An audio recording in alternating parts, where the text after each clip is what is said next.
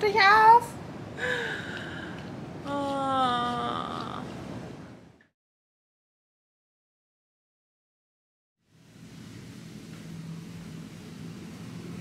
Hallo ihr Lieben.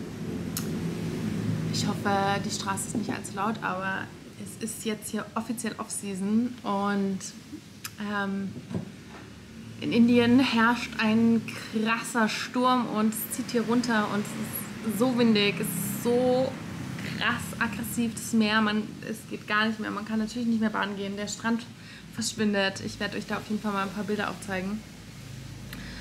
Und genauso wie der Strand verschwindet, verschwinden meine Haare und es hört nicht auf. Und dieses Haarausfallthema ist tatsächlich das, was ähm, so viele Sachen für mich in dieser Stierzeit jetzt hochgebracht hat. Ängste, äh, diese ganz, ganze Thema mit ähm, Verurteilung, gesehen werden, äh, Unsicherheiten, all das ähm, kam auf einfach nur hauptsächlich mit diesem Haarthema.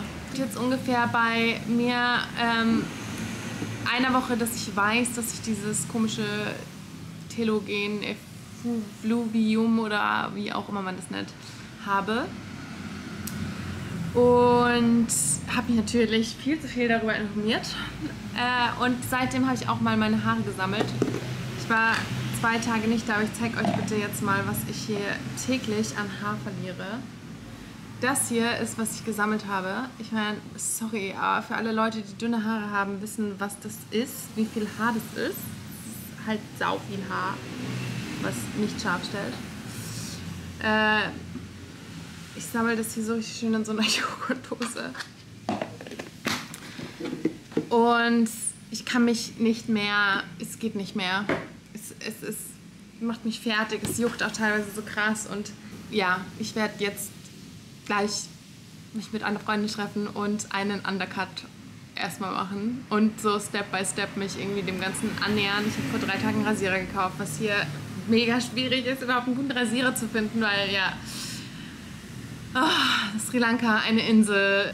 Ich freue mich, bin gespannt, habe Angst, freue mich aber so krass, diese Identifikation loszulassen, ja. Aber ich habe jetzt auch die letzten Tage gemerkt, so, boah, ich, ich habe meine langen Haare richtig geliebt und auf so eine andere Art und Weise lieben gelernt, wie ich es noch nie meine. Ich habe mich noch nie mit meinen Haaren identifiziert davor.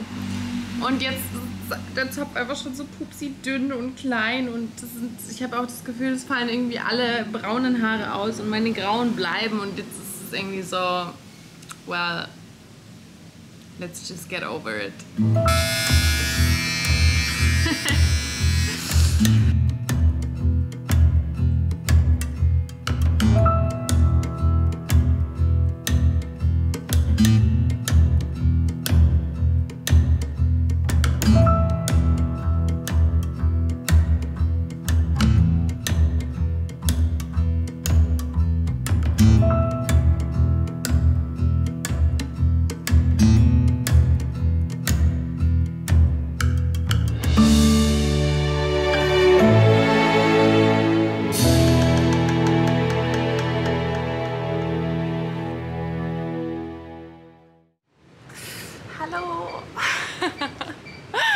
Oh mein Gott. Ich habe mir eine Seite abrasiert und ich muss sagen, ich fühle mich so krass gut damit. Ich hätte nicht gedacht, dass so viel in einem passieren kann, wenn man einfach nur so ein paar Haare irgendwie fallen lässt. Und ich dachte ja auch so, oh, ich rasiere sie jetzt direkt alle ab und so. Und dann dachte ich irgendwann so, nee, ich mache jetzt Step by Step. Und dachte dann, okay, ich fand Frauen irgendwie schon immer heiß, wenn sie so eine Seite abrasiert haben. Und ja, das habe ich jetzt gemacht. Ich glaube, ich will auch noch die zweite. Das glaube ich macht das alles noch so ein bisschen mehr Badass. Und ja, man sieht natürlich hier schon, dass ziemlich wenig Haar existiert ähm, durch den Haarausfall. Aber es, ich habe einfach ein anderes Selbstbewusstsein wieder dadurch erlangt. Das ist so komisch, aber es ist wie, als hätte ich mich jetzt schon so ein Stückchen transformiert. Und dieses Thema Transformation und innere Schönheit, Transformation in dem Sinne, was, wie, wie sehe ich mich und was sind meine inneren Schätze und ähm, einfach diese Wahrnehmung davon. Ne? So, ja, das hat einfach so viel gemacht und deswegen, ja, ich habe das Gefühl, dass irgendwie jetzt dieser Stierprozess auch zu so einem Ende kommt, also zu einem Ausklang, obwohl auch noch fast eine Woche eigentlich da ist. Aber ich habe das Gefühl, jetzt geht es so ganz viel um die Integration dieser, dieser erlangten Weisheit, neu erlangten Weisheit oder diesem Gefühl auch irgendwie, ja. Und das Spannende ist, dass ich am Anfang ähm, dieses Monats eben eine Raupe gefunden habe.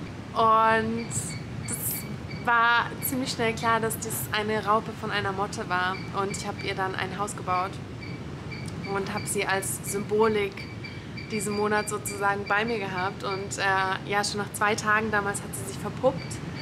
Und sie war jetzt 16 Tage lang verpuppt und jetzt ist sie heute Nacht geschlüpft.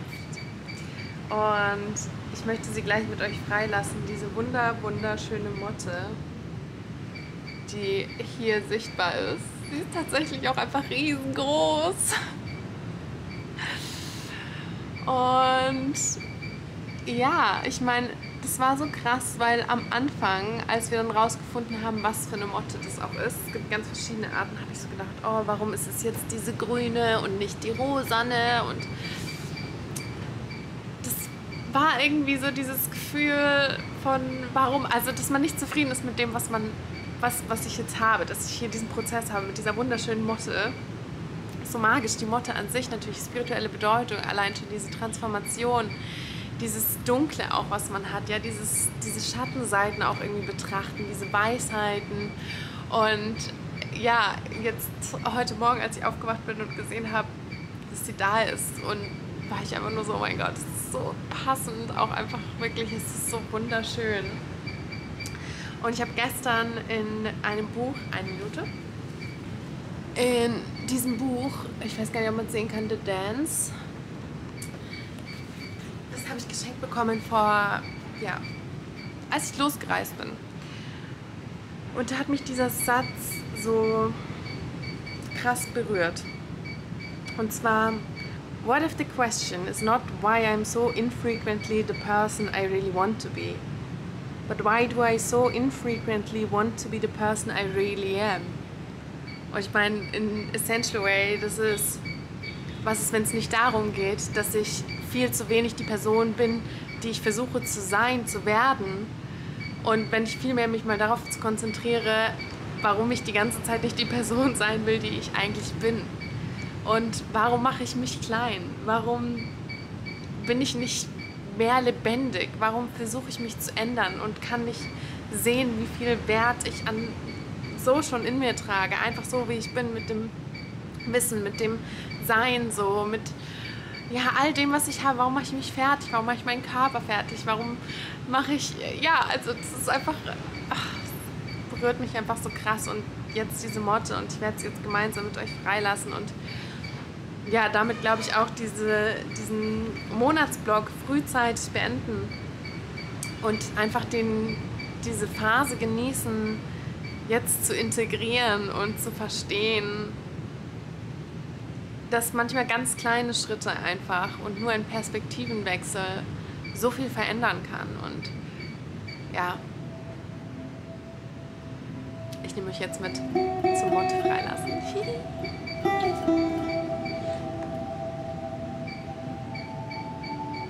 Let's go.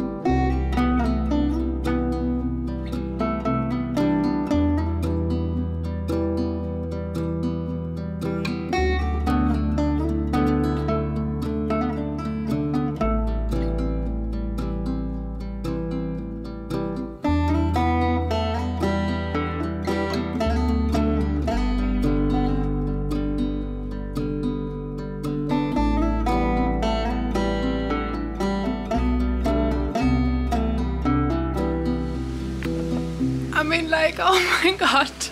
So schön, so krass schön. Ich freue mich einfach so krass.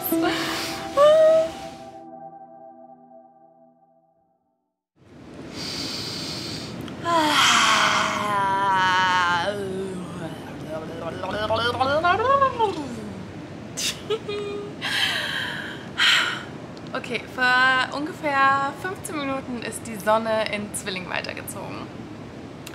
Eigentlich habe ich ja gedacht, dass ich dieses Video hiermit schon abgeschlossen habe mit dem Entlassen des Schmetterlings oder der Motte, dem Schwärmer. Und ähm, ja, jetzt hatte ich irgendwie doch nochmal den Impuls, gerade wo ich jetzt am Video schneiden bin und es fertig mache, dass ich vielleicht nochmal kurz irgendwie so reinspreche, wie jetzt die letzte Woche für mich war, wie der Neumond war, was ich erwarte von der Zwillingssaison und ja, auch wenn man ja dieses Mal wirklich gesehen hat, dass irgendwie auch oftmals andere Themen aufkommen.